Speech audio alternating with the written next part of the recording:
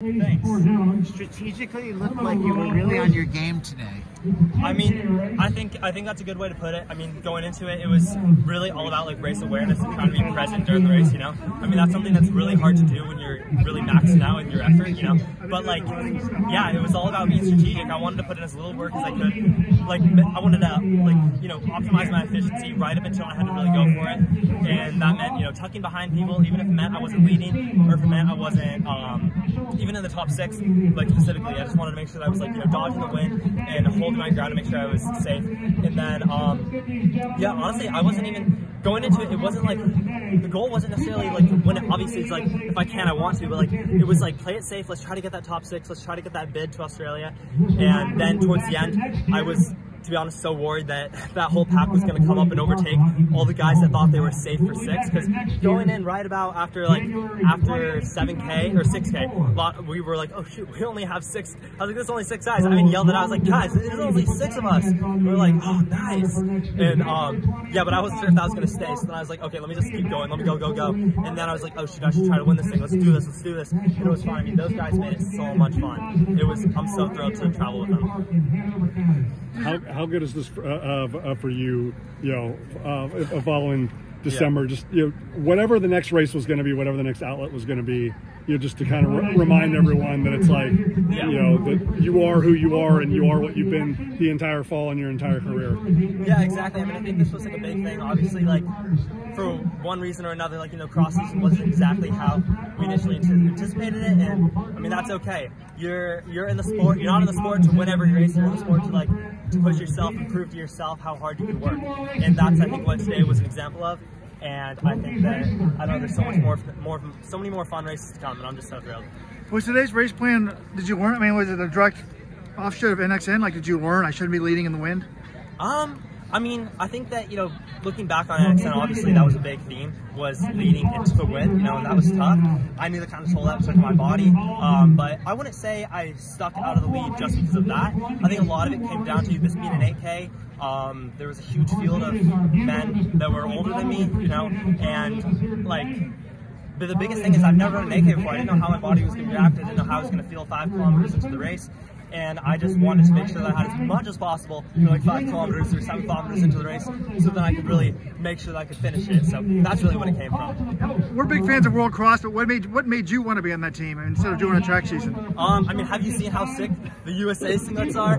Um, how incredible of experience it is to represent your country in a race. I mean, like that's exactly what it is. Like I want to run for Team USA someday, like on the Olympic team or a world team, and I feel like a junior team is exactly how you get there. And I don't know, I could not be, I could not be more thrilled about this opportunity. And what about your brother Lex? I heard he's been out and missed some time, but yeah. I mean, man, that kid, I mean, he had one hell of a race you it's hard to go out there with such with the lead up that he had. Because thing is, is like for him, he's he's the kind of kid who's like he's gonna give it his all no matter the situation. Um, like going into this, like right after NXN, he started to have like a hip a hip issue that took him out. Then he got his wisdom teeth out and he couldn't even train for a little while.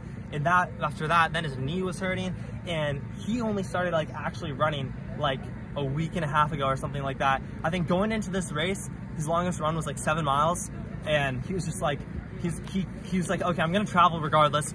He's technically entered in the race, and then like yesterday, he was like, even if I even if I blow up, I know I'd be so mad at myself if I didn't give it a go. So that's that's exactly I think what what he was looking at, and I think I don't know, I think it's a specific result, but it looked like he did pretty darn good. Mm -hmm for you to have this vision all the way back during the summer, right? That it's like, you yeah. know, we're going to be very efficient and very quality, you know, in in the fall because you always had eyes yeah. on January, you had eyes on February how, how satisfying is it that, that all those pieces came together for you?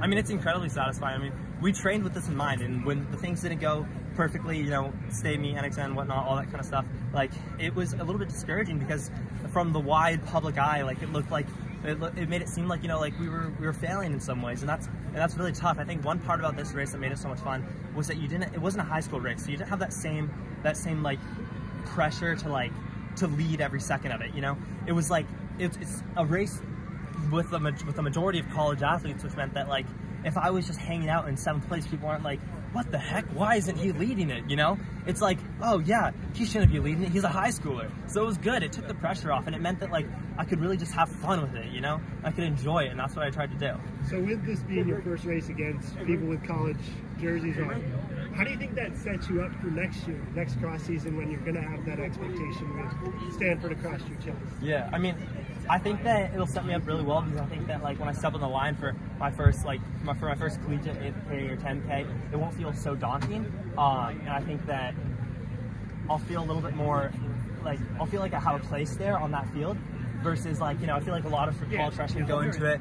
And there's guys that literally are like they're like 25 years old and you're like oh my goodness like you're terrified. And that can be super daunting. I feel like obviously it's still gonna be terrifying but i feel like because i was able to have such a great experience here and race a bunch a bunch uh, race against a bunch of really nice college guys um, i think that'll be a little less scary All right, off topic. I'm an identical twin. You're a twin. Who's the younger twin in y'all's family, and, and Yeah. what's the age gap? um, i'm the younger twin All right, I think it's- there I we think it's go. like a minute yeah One minute. Wow. something like that i don't know All right. Exactly.